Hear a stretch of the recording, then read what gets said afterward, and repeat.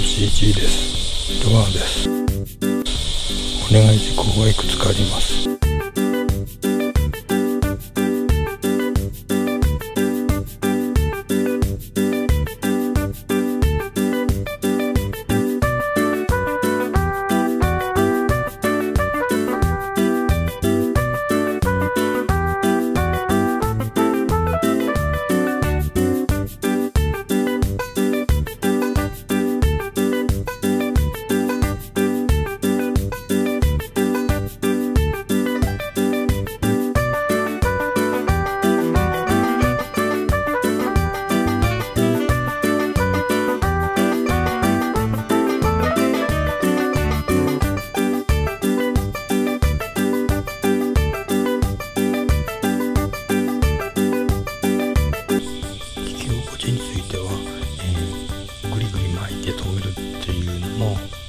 んですが、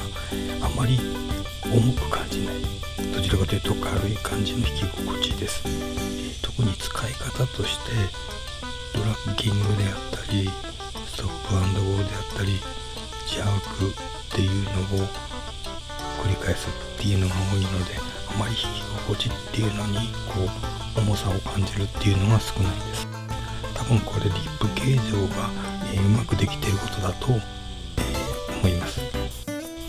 また信移動によって飛距離も抜群なので、えー、問題ないかなと思います。この音なんですけども、えー、これもそんなに大きくなく、えー、私としては非常に好みの、え音になってます、え外観については全然問題なく、えメガバス全般に言えるんですけども非常に綺麗な仕上がりで、え本当にあ買いたいなと思わせる良いルアーだと思います。このルアーについてなんですけども、もう少しワンテンよりも深いレンジを引きたい。そういった時にああもうちょっとなっていうところがあったのが一つ。それとウィードのトップを引きたい場合。もう少し潜ってくれたら出そうなのにっていうところで使いたかったルアーとして非常に役に立つルアーだと思います。こういったルアーって目立たないんですけども本当地味な感じがするかもしれませんが、えー、本当実際の釣り場で役に立つルアーなんで、えー、一度使ってみることをおすすめします。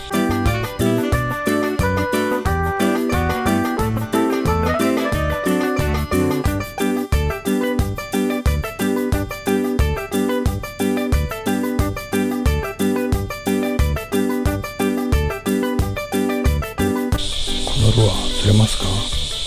ポンコツ GG でしたご視聴ありがとうございました。